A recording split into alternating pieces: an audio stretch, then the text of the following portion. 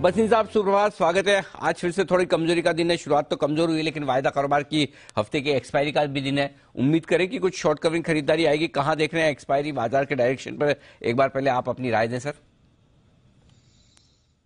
Good morning Anil ji. जैसे मैंने कहा market is bereft of ideas और सेंटिमेंटली स्ट्रांग है, लेकिन कुछ कुछ ऐसा टेक्निकली वो है कि सब सोचते हैं, पहले सोलह हज़ार, पंद्रह, सात सौ आए, फिर देखेंगे। वो मौका शायद आए ना। आज आपने देखा है गैप अप डाउन के बाद वापस बाइंग आ गई। और आप देखिए फंडामेंटल्स कितने स्ट्रांग हो रहे हैं। मैं आपको गारंटी से कहता हूँ, सत्रह अठारह तारीख के बाद क्रूड घटेगा जियो पॉलिटिक्स में ढील आएगी। और इस कारण से अब एक ही इवेंट रह गया जो फेड की मीट है and that is more or less discounted तो लेने की चेष्टा कीजिए रिज़ल्ट अच्छे हैं। आप देख रहे हैं स्टील प्राइसेस ऑफ़ गॉन आप सीमेंट के प्राइसेस बढ़ने को आ रहे हैं।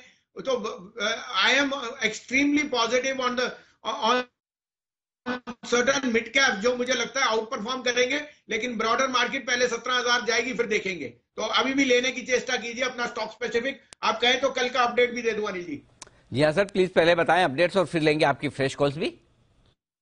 अनिल जी गेल कल आपको हिंदुस्तान एरोनॉटिक अठारह सौ पच्चीस तीस में दिया था अठारह सौ छप्पन हो गया।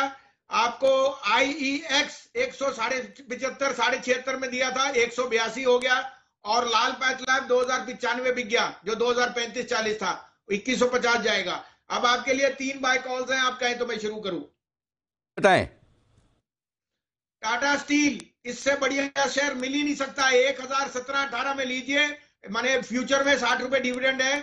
आपको एक हज़ार का स्टॉप लॉस रखना है एक हज़ार पिछहत्तर का टारगेट जो कल आपको टारगेट है। Ex dividend pound dividend same भाव हो जाएगा।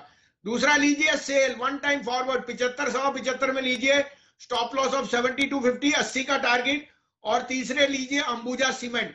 अंबुजा सीमेंट को ये जो टेक ओवर हुआ है चालीस परसेंट लॉजिस्टिक कॉस्ट और पावर में बचता है। You cannot but make money in Ambuja at three sixty five stop loss of three fifty at target of three eighty future के लेवल्स हैं या कैश के साहब? फ्यूचर के लेवल है अनिल जी सब फ्यूचर के डिस्काउंट पे चल रहे हैं। ओके तो खरीदारी में आपको टिस्को खरीदना है?